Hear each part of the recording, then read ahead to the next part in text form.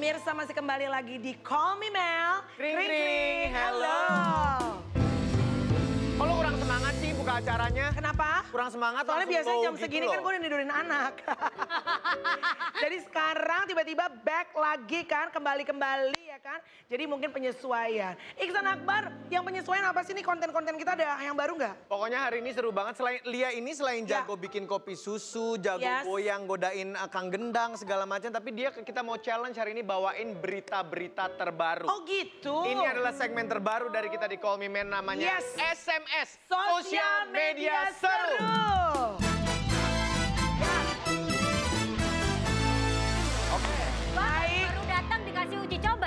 Ya? Ya dong, sekolah. siapa tahu kalau diuji coba cucok maruco, lanjut terus em, ya Oh, kan? gitu.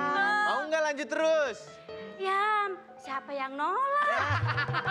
Oke, ini adalah berita-beritanya. Lia bisa berdiri di sebelah sana. Gua challenge lo membawakan berita-berita dari sosial media yang seru. Silakan di situ, Lia. Ini aku deg-degan kayak ditinggal selingkuh ya. Wow. Coba Ya. ya. Jadi Coba, kalau coba. Pembawa pembawa berita tuh Bawa ini, berita, lo ala-ala mungkin eh Cutari. Ya. Oh, Terus, gitu ya ya. kan? Terus Bener. kalau Milani Ricardo kayak gimana? Kalau Melani Ricardo pendiam orangnya, pemalu. Iya. Oh, Oh, banget pemalu. deh. Coba Li, oke Ya, berita ya. pertama silakan. Eh ya Allah. Kan tes. Bye-bye eh, bye-bye batuk-batuk Ya, ya. sekarang. Dites lo ntar, Ini, ini boleh. mohon maaf matador nggak kelihatan mata. Iya, iya. Baca boleh, baca. Baca aja ya. Ya. Di Hai situ. pemirsa gitu. Hai pemirsa yang di rumah, kali ini bersama tetap bersama Lia di acara Call Me Mel. Kali ini Lia akan membacakan berita-berita terkini, yaitu sebentar. Apa tuh? Untuk video pertama mungkin ada sebagian orang yang ngefans banget sama kita dan ada juga yang tidak suka sama halnya ketika kita di atas panggung sering mengalami kejadian yang tidak dibang dibangka-bangka apa sih? Oh, Mie kali banget. ya ampun. eh, lo jadi tamu gue ya bang. Awas lu. Oh, Yang disangka-sangka seperti yang terjadi oleh salah satu musik Musisi rap. rap yang lag. Berikut videonya.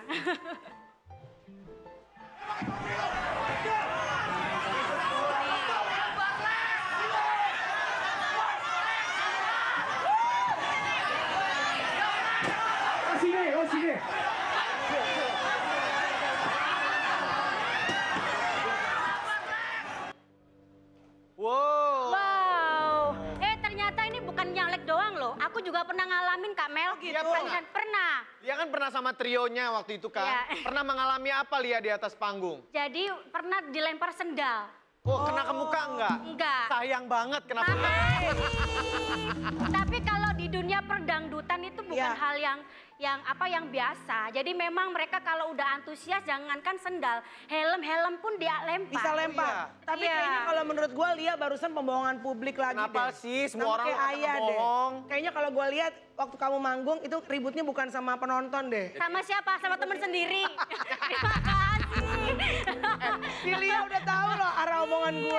Gue penasaran kalau ayah nih, Ya. karirnya sepanjang dari tahun 1969 sampai sekarang di panggung yang paling ayah inget yang bikin deg-degan. Kayak Ya. yang lag tadi apa? Pernah? Pernah ada yang ngerumpi rusuh gini ikut-ngikut gak sih? Ikut, ikut, sini, sini. Kamu di sana aja ngikutnya. Kan boleh lagi Ya ngerumpi. udah boleh deh. Pernah ada yang rusuh nggak ya? Misalnya ngelempar barang apa yang paling parah gitu ya? Wah macam-macam Mel. Misalnya apa ya? Macam-macam misal kadang-kala ada orang yang kadang kita lagi nyanyi, tahu-tahu habis nyanyi ada laki-laki datang ke kita, Ah. terus bilang, waduh silakan nih, karena di depan ada yang orang cantik nih. Ah. Kita, kita nyanyi, terus mata kita kan langsung kita Sono. ke, sono gitu akhirnya Iya. si laki waduh bahaya nih nggak taunya cuman istri saya lagi nyidam pengen di Oh, iya. oh ya langsung kayak begitu Mel ya Aneh-aneh begitu ada ya Tangan ya? begitu begitu ada lagi yang kita turun begitu Ah. turun bibir merah pada nempel di pipi itu Oh enak. Menang banyak Kalau saya nyanyi terus ke mana dari situ? aduh udah Eh udah kebingungan Pakai dibahas loh. Apalagi zaman dulu kan belum ada lambe tura, bebas. Eh, tapi, aku baru inget aku juga pernah sampai nangis loh. Kenapa? Aku dilemparin gitu sama orang. Lemparan apa? Dilemparin uang. Oh itu mah emang mau loh. Nangis bahagia. Ada video lain lagi kan? Nah, balik lagi. Ayah, ayah tadi, ayah paling aneh apa? Paling aneh. Tapi ada yang paling Ya, yang paling ya. yang paling nggak bisa lupa. Ya. Itu aja begitu nyanyi kana tadi. Kana, begitu oh. nyanyi kana itu Ya. di panggung itu kan ada tiang Mel ya. Iya. Itu selalu biasanya kalau udah kana Set, itu pegang- tiang, pegang tiang ayah pegang. Iya. Tiang ayah pegang. Ah, ah. Begitu terakhir ini begitu mau pegang kana kana itu nggak jadi. Kenapa ya? Begitu nggak jadi ayah pikir ah nggak jadi nggak usah pegang Iya. nggak usah pegang tiang ya. Ah, ah. Akhirnya begitu ayah habis segini Engkau lah gadis India, koda terakhir, Iya. MC ma MC Masuk, datang. iya. Demikian tadi Mansur pegang tiang ini, Iya. setrum Mel. Oh my Ya God, Allah. ayah. Sampai keluar darah Mel. Kalau si yang bener ayah ya? tuh yang kesetrum. Astaga, ayah masih dilindungin Tuhan. Alhamdulillah. Jadi ayah berkata, Alhamdulillah Rabbil Alamin. Kak Isan, Kak Isan mau Yes. nyobain nggak? Bersyukur. Enggak, enggak, thank you, thank you. Kok nempel keluar darah Mel. Wah itu langsung. Astaga. Tapi orangnya nggak meninggal kan ya? Oh dia langsung bawa ke rumah sakit. Rumah sakit. Sampai Oke. begitu selesai, orang kasih salam semua. Selamat Pak Mansur, selamat. Iya, masih diselamatin sama Aduh. Tuhan. Baik. Oke, Mel masih ada saya. video lainnya. Masih ada ini. Lanjut. Video kedua ini tingkah laku penggemar terkadang suka berbeda-beda. Dari nari, bergoyang, bahkan tidak sabar ada yang ia lakukan. Seperti beberapa orang yang ada di video berikut ini. Mereka ingat seperti orang rusuh. Nih coba lihat videonya.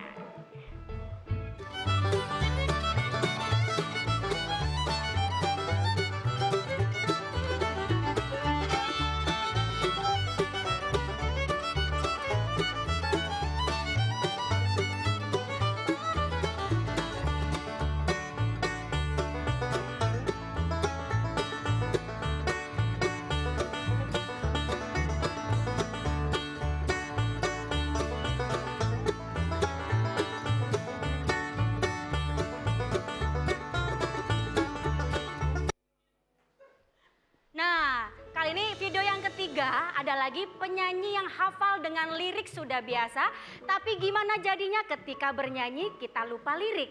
Tidak hanya malu, tapi malu-maluin. Seperti yang terjadi di video ini.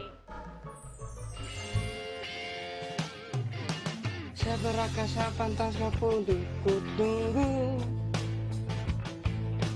Tapi ketini dirimu teku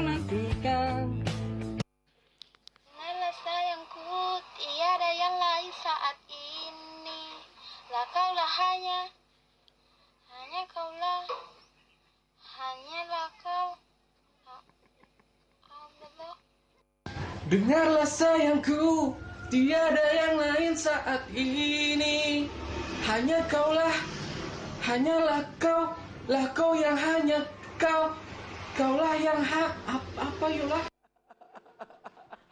Nah kan, Astaga. tapi memang ya kalau untuk Iya. kadang suka lupa-lupa ingat itu hampir semua penyanyi ya ya ya. Kadang kalau kita lagi perform atau apa karena kan kita ya nggak selagu dua lagu pasti akan ada ngeblanknya. Lu pernah juga li? Oh, sering. Sering juga. Sering. Kadang lupa temen juga sering. Eh. Tapi gue setuju, lupa temen pasti sering, lupa lirik pasti sering. Lupa satu yang nggak mungkin, Apa itu? Apa itu? lupa teken nggak mungkin. Oh enggak. Kadang-kadang udah teken aja belum tuh masuk. Ayah suka lupa lirik nggak? Kalau nyanyi suka lupa lirik nggak? Ahai, Alhamdulillah enggak. Alhamdulillah. Alah. Alhamdulillah. Iya, Ayah tuh nggak lupa lirik loh kalau nyanyi. iya. Alhamdulillah ayah berarti sebagai penyanyi senior, ya kan? Yang sudah banyak makan asam dan juga Iya. garam kehidupan. Nah, seperti itu tadi video-videonya. Mungkin yang di rumah juga pernah mengalami melihat seseorang atau lagi ngapain ikut baper. Kayak contohnya, aku juga kalau ngeliat ayah juga baper. Iya. Lihat Kenapa Amel juga Sama baper loh. Ya kalau Amel lihat ayah tuh kayak pengen diayomi gitu. Oh. eh, eh. Lu pakai mohon ngomong sama mohon ayah. maaf, mohon maaf. Jiwa-jiwa menjomblo begini. Ah, iya, pengen diayomi. Emang ayah pembimbing skripsi, enak aja loh. Lagian emang kadang-kadang kalau mau penyanyi mau penonton gitu, Til. Awalnya baper, ujung-ujungnya, hmm, bukan-bukan lemper. Ketawa dong, gue udah nyiapin jokes gue. Gak seru lo emang gak seru penonton gue balikin. Pemirsa jangan ke mana-mana, tetap di Komi